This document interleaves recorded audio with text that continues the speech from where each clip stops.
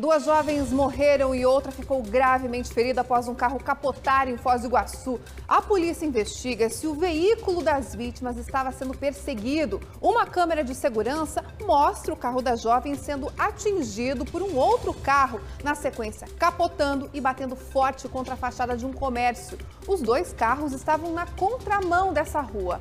As três jovens ficaram presas às ferragens. Duas morreram no local e a terceira foi levada com muitos ferimentos para o hospital. Segundo os bombeiros, as vítimas tinham saído de uma casa noturna um pouco antes do acidente. A polícia investiga esse caso.